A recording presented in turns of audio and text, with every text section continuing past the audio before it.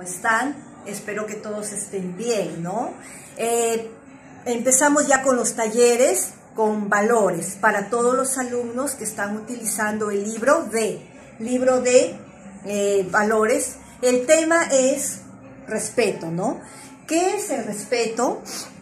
el respeto viene a ser que es una forma de consideración y valoración, ¿no? Que se puede tener hacia una persona, ¿no? Ya sea una idea o una eh, institución que comúnmente eh, puede consistir en una o varias este, conductas, ¿no? Como es acatar ciertos códigos de protocolo, ¿no? De conducta, mostrar tolerancia siempre y cuando no se produce una afrenta eh, directa.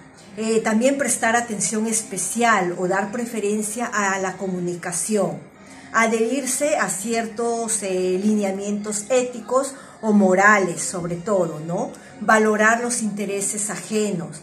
El respeto entre las personas suele estar condicionado a la reciprocidad, es decir, algo que se debe entregarse de manera mutua, ¿no? ¿Por qué es importante el respeto?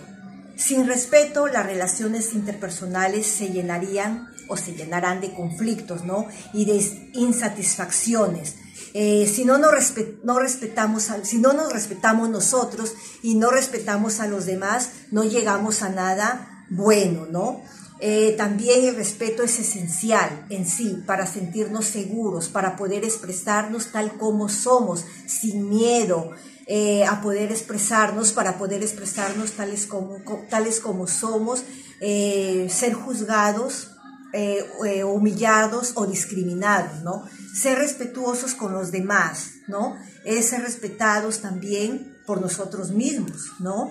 También la autoestima, la autoeficacia, nuestra salud mental y nuestro bienestar. Todo eso es muy importante en el respeto, ¿no? Si tú conservas todas estas cositas, vas a saber lo que es el respeto, pero si no practicas o no, no haces nada de estas cosas, todo va a salir negativo.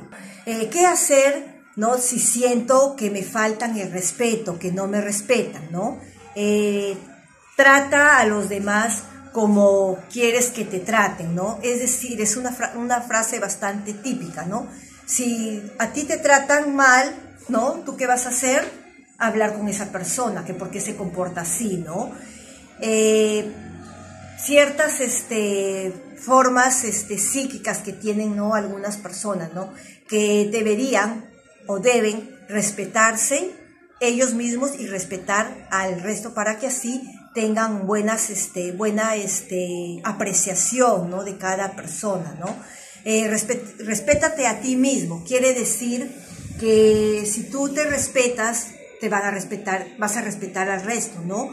Prioridades que son para ti mismo. Utiliza un lenguaje corporal, es muy importante porque te ayuda a transmitir mucha información, aunque a veces la información que mandamos es contradictoria con nuestras palabras, ¿no?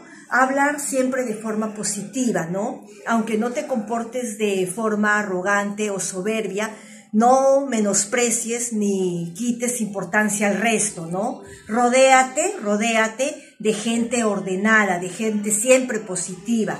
Hay personas que son irrespetuosas, envidiosas o faltan el respeto. Hay que saber conocer, ¿no? Tratar a las personas. Cuanto más lejos estén, mucho mejor para nosotros poder así evitar y ser buenas personas. Defiéndete ante las faltas, ¿no? De respeto. Si te faltaran el respeto o no te toman en cuenta en serio, defiéndete pero no, no permitas que abusen de ti, ¿no? Tampoco ataques o respondas de la misma forma, ¿no? Sé prudente, discreto y ver la manera de cómo tratar a estas personas que se comportan así. Eh, otra este, es la potencia de potencia tu autoestima, ¿no? Muchas, veces hay personas que no somos respetuosas, ¿no? Porque no nos consideramos este, dignos de respeto. Esto puede ser consciente o inconsciente, aunque sepamos que sí merecemos respeto, ¿no?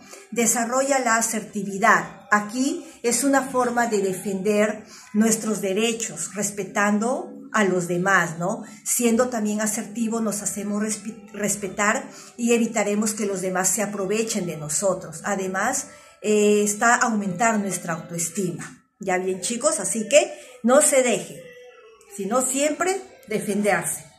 Respeto mutuo.